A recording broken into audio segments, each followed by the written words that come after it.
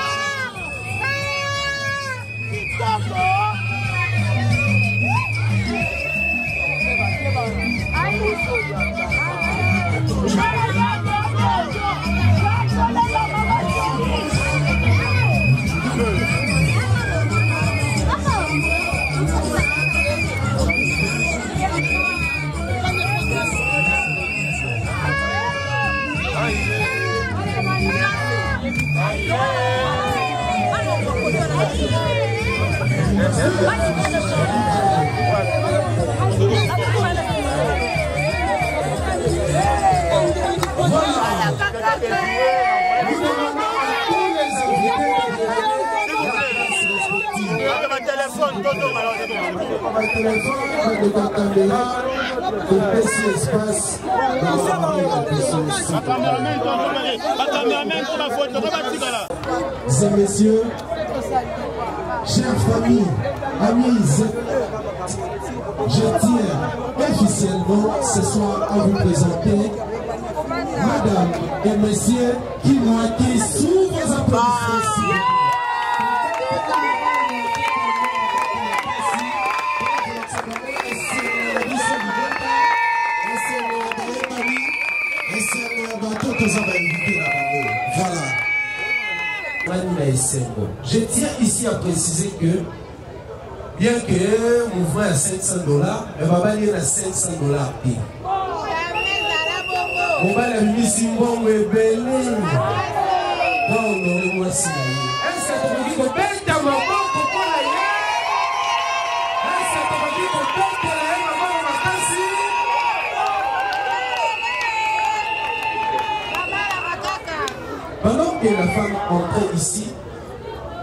dans la foule les gens criaient mwasi kitoko makasi mais voix moko ebimi na kati alobi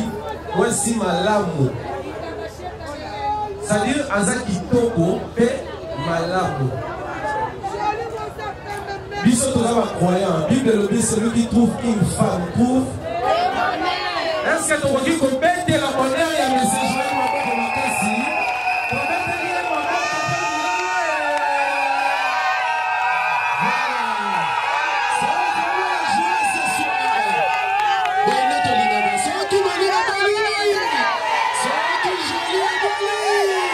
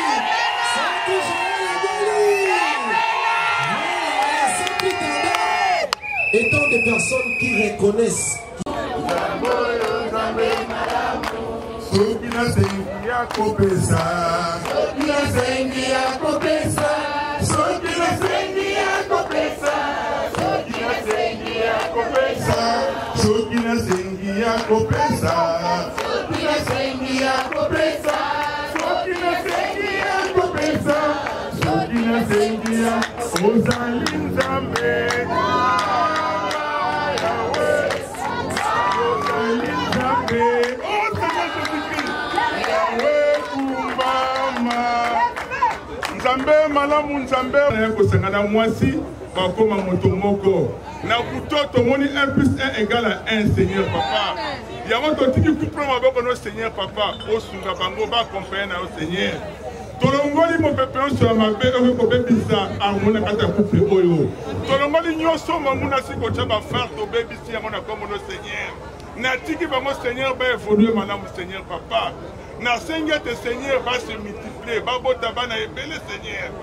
papa naza na mingi osenga te seigneur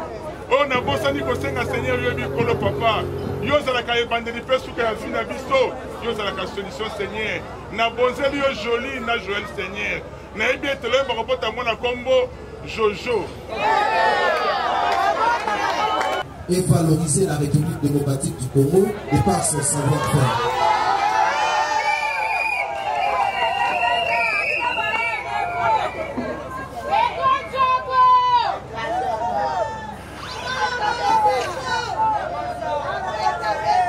Voilà. Le grand monsieur que vous voyez, l'international Joël Kimwaki, c'est un grand monsieur de la République démocratique du Congo. Le pays l'a honoré en maintes reprises. mboka oyo ezalaka fiere ya koyeba ke joel kimwaki aza congolais de son vrai nom il s'appelle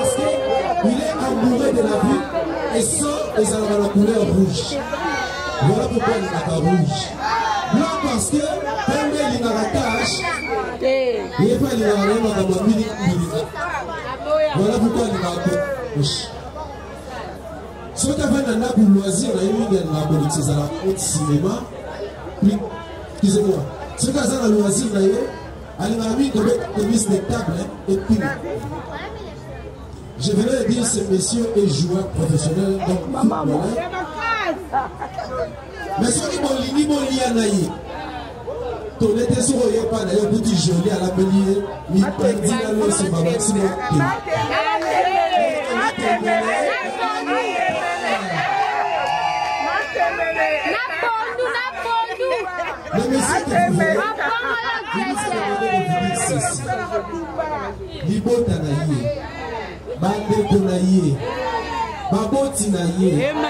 baconnaissance na ye voire meme bacollègue na ye alors bafanatike na ye parce que azali star apesi bino merci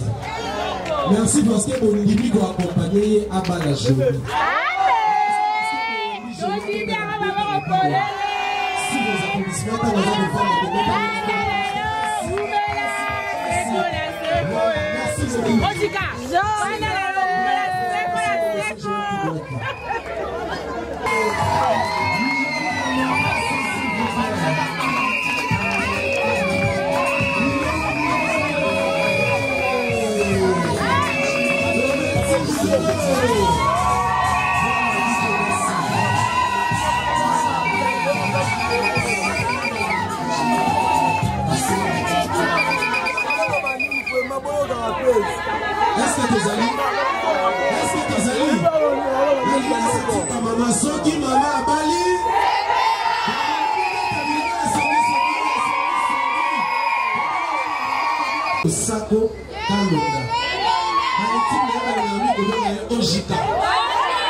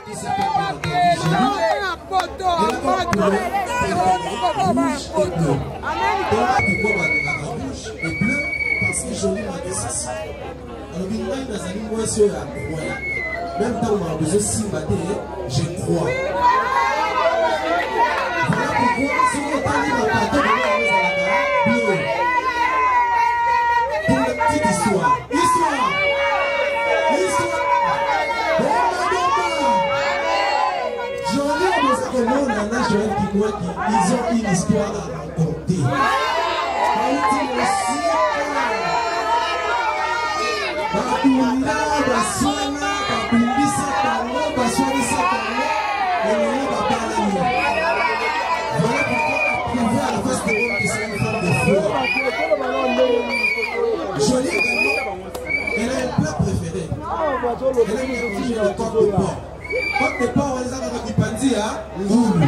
Mobali mipanzi mwasi. Mwasi so akopana yango na legime ota ndunda ye ota matembele ota nyonso basala nini akolia bakisaka na semule ezala wana. La dame que vous voyez, elle aime bien comme loisir